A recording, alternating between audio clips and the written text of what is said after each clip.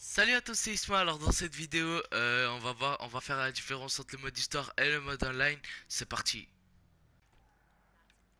Nous voilà. Alors en fait, je vais pas vouloir, enfin, je vais pas faire les coupures pour aller au mode histoire pour vous montrer, pour revenir en mode online. Non, ça va faire, ça va prendre trop de temps.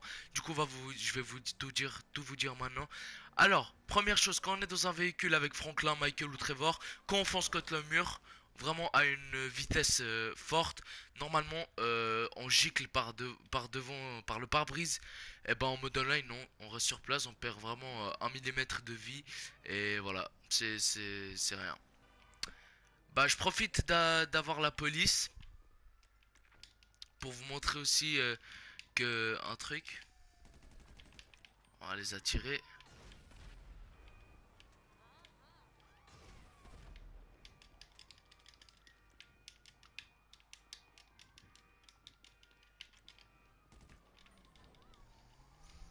Voilà. Les voilà. Alors. Euh, ce que je trouve, voilà, la différence aussi normalement, euh, les flics dans GTA 5, enfin dans le mode en ligne, ils nous tirent dessus directement, alors que dans le mode histoire ils nous arrêtent et je trouve ça vraiment dommage dans le mode online qu'il n'y a pas ça. Ce serait cool s'ils pourraient nous arrêter et après euh, une, petite coupure comme ça, après on est dans le on sort du commissariat. J'ai bien, j'aime bien ça dans le mode histoire et je trouve ça dommage. La chose que je trouve dommage aussi, c'est qu'il y a plein d'animaux en mode, histoire quand on va dans la forêt. On a des cerfs, on a des... Bah, on a, on a vraiment un tas de choses. Il moi, j'ai vu des cerfs, j'ai vu des, des oiseaux, plusieurs oiseaux, plusieurs sortes. Et voilà, je trouve vraiment dommage qu'il n'y a pas ça en mode online. En mode online, euh, on a... Ah oui, et aussi des chiens. Bon, en mode online, moi, je vois pas trop de chiens euh, se balader. Et euh, voilà.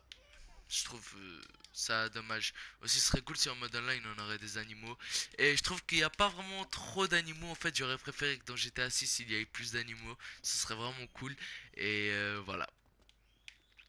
Voilà, on se retrouve pour la on se retrouve pour la dernière et la chose la plus décevante je trouve C'est que si vous allez en mode histoire et vous allez améliorer un véhicule Vous allez voir que les, les améliorations, les capots, les pots d'échappement, tout est moins cher Et dans, le mode online c'est beaucoup plus cher Alors que dans le mode online c'est beaucoup plus difficile Enfin non, en fait, non. Et je trouve vraiment dommage que ça soit moins cher en mode histoire qu'en mode online, vu que la plupart d'entre nous, on joue plus en mode histoire. J'aurais plutôt aimé que ça soit vraiment tous le même prix, parce que quand on regarde le prix du Chrome en mode online, il est presque 25 000. Euh, et euh, dans le mode histoire, il est 12 000. Si on regarde l'or, la couleur or, le, voilà, la, machin, ils sont à peu près 7000 en mode histoire et ils sont 50, 60 000 en mode online. Et je trouve ça vraiment dommage alors qu'il y a vraiment beaucoup de joueurs qui n'ont pas les moyens de se payer tout ça, comme moi par exemple. Et je trouve ça vraiment dommage et ce que, voilà. C'est vraiment dommage. Du coup, c'était tout pour cette série, les gars. J'espère qu'elle vous aura plu. Si vous vous en voulez beaucoup plus, n'hésitez pas à liker, à vous abonner et surtout à commenter pour dire si j'ai pas oublié des choses ou à dire. Normalement, je ferai une deuxième partie. Et moi, je vous dis, c'était tout pour cette vidéo. Ciao